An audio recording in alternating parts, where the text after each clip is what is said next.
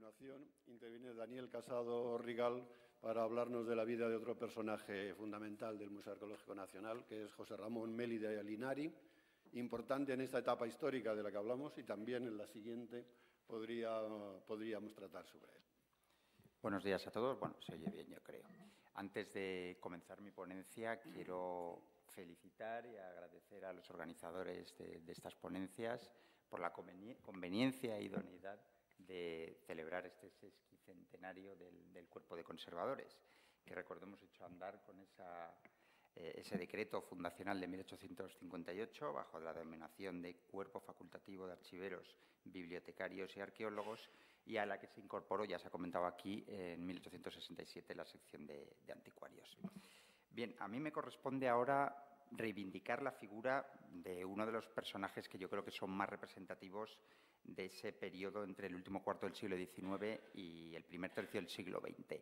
Incluso Andrés ha referido antes a, José Ramón Melida como un buen ejemplo de alguien que estuvo prácticamente toda su vida ligado a un mismo museo.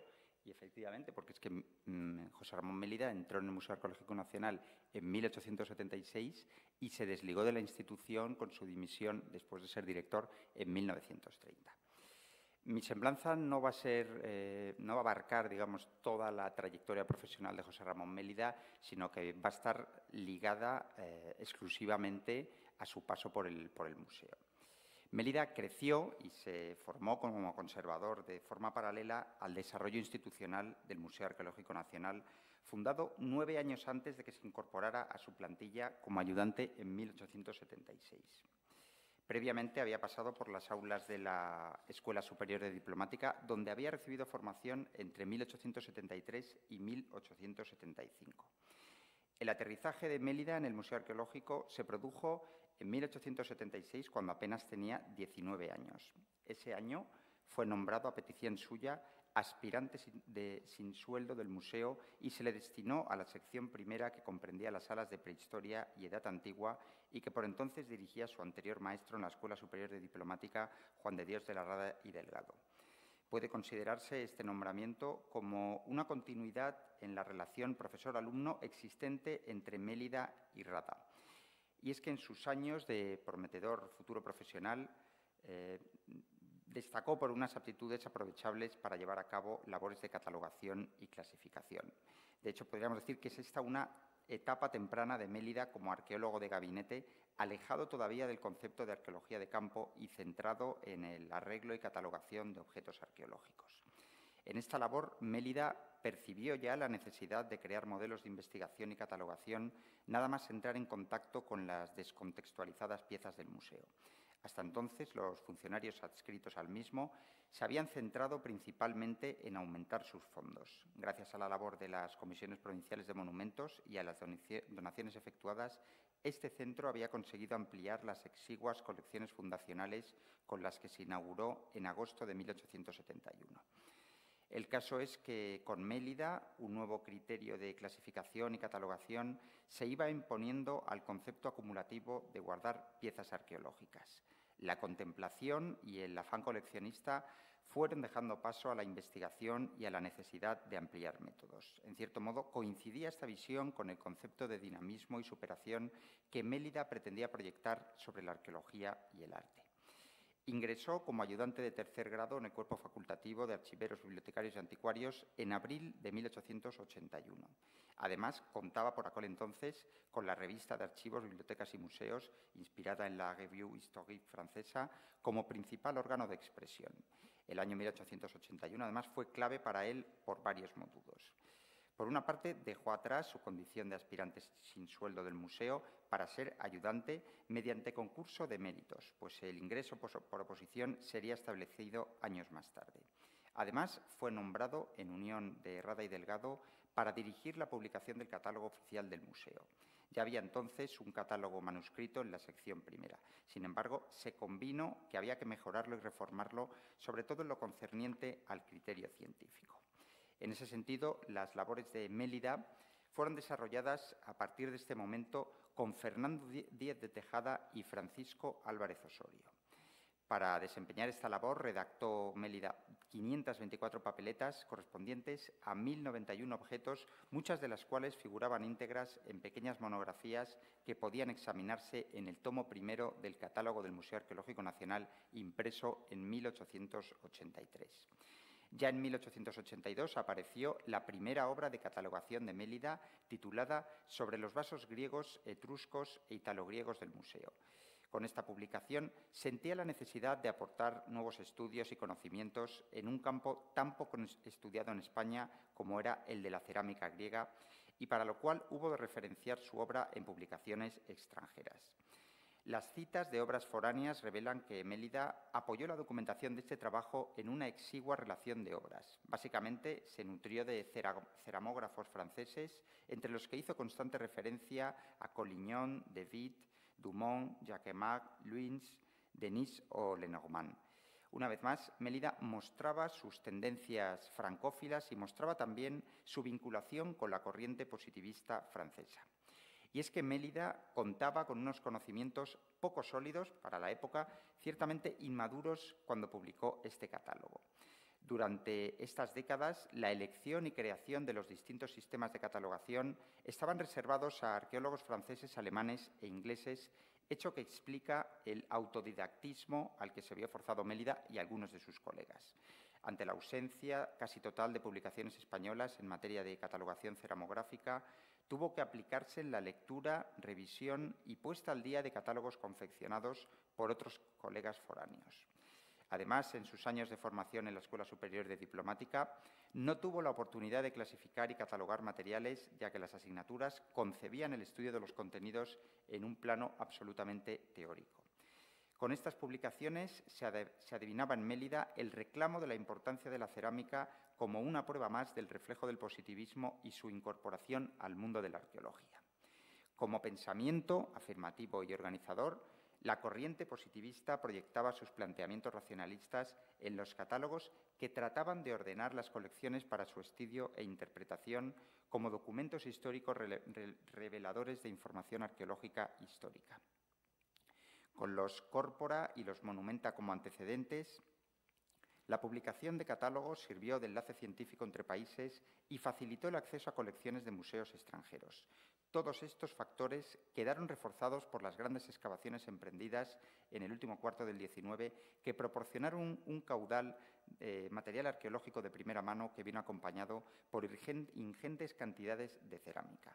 Especialmente relevante en esta faceta fue Flinders Petrie, con el que la cerámica cobró una importancia que trascendía el ámbito formal y pasaba a articular la documentación esencial de las sociedades del pasado y antes de Petri, los alemanes Eduard Gerard y Otto Jahn habían establecido los criterios necesarios para su estudio de la cerámica a mediados del siglo XIX. Ya en 1884, la carrera arqueológica de Mélida, con 28 años, estuvo jalonada de proyectos tanto a nivel nacional como internacional. Por una parte, fue designado jefe de la sección primera del museo, en venturosa camaradería con Fernando Díez de Tejada y con Francisco Álvarez Osorio, y por otra, una Real Orden le nombró ayudante de segundo grado del Cuerpo de Archiveros, Bibliotecarios y Anticuarios. Una de las tareas que forjó la faceta de conservador de Mélida fue su participación en comisiones que tenían como fin la gestión museológica. En julio del 84, Mélida fue comisionado por Real Orden, junto con Radia Delgado y Ángel de Gorosticiaga, para hacerse cargo de los objetos que constituían el Museo Ultramarino. Tenían como fin repartir las piezas que juzgasen adecuadas entre establecimientos dependientes del Ministerio de Fomento. Entonces, en 1884, ocupaba el puesto de director del museo Francisco Bermúdez de Sotomayor, precisamente cuando Mélida se hizo cargo de la sección primera dedicada a prehistoria y edad antigua. Desde su puesto contribuyó a que el reducido local que ocupaba la sección en la planta baja del Casino de la Reina fuese ampliado con un pabellón, lo que permitió establecer una exposición ordenada de las colecciones. Hasta tal punto fue acertado el criterio museológico de Mélida que la ordenación cronológica y metodológica propuesta por él para esta sección sería respetada diez años después, cuando el museo fue trasladado a su ubicación definitiva y actual. Pero la faceta de conservador de Mélida no se circunscribió al Museo Arqueológico Nacional. En agosto de 1887 fue comisionado para estudiar los objetos expuestos en el certamen filipino que se había celebrado en Madrid.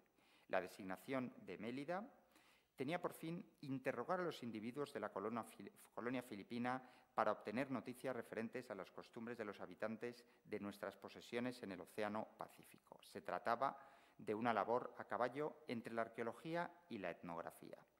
Mélida encaró el final de 1887 con una nueva aspiración, conseguir una de las cinco plazas de oficial de tercer grado en la convocatoria anunciada por la Gaceta Oficial del 26 de diciembre. No se conocen los criterios de selección para conceder las cinco plazas, pero parece que no debió de tratarse de una oposición en toda regla, sino de un ascenso similar a una promoción interna. Según un borrador localizado en el archivo del museo y según el artículo 41 del reglamento, la posición de Mélida para merecer la plaza sería muy favorable para cumplir los requisitos eh, de este momento con Fernando Díez de, perdón, del citado reglamento. Según el borrador, los méritos eran haber escrito libros y artículos sobre diversos puntos de arqueología, haber probado inteligencia en el desempeño de su cargo, clasificando y catalogando objetos, haber desempeñado comisiones del servicio en Madrid y en el extranjero, de las cuales una la desempeñó en París a petición suya gratuitamente y otra en Lisboa, y ser autor de varias obras literarias y pertenecer al Instituto Arqueológico de Berlín. En el plano museístico, el día 5 de julio del 95, el museo abrió las puertas al museo, perdón, al público en el Palacio Nuevo. Contaba entonces con más de 157.000 objetos. De forma paralela, se producía un proceso centralizador que afectaba no solo a las antigüedades, sino también a los documentos escritos.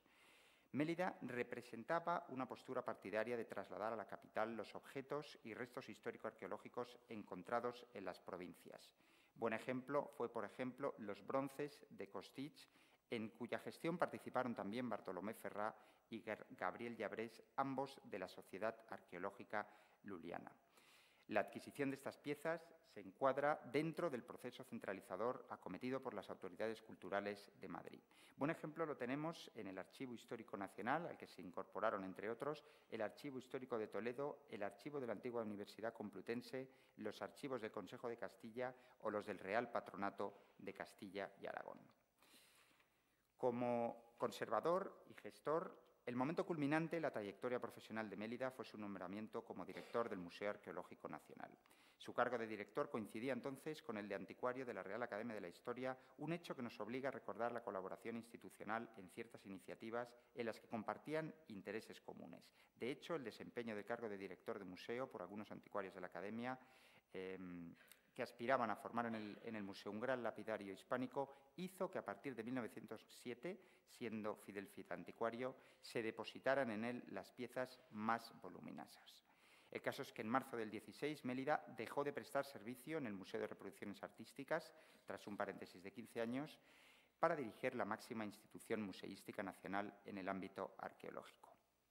Para conocer la gestión de José Ramón Mélida al frente del museo, conviene citar su iniciativa a la hora de editar y redactar una nueva guía histórica y descriptiva del museo en 1917.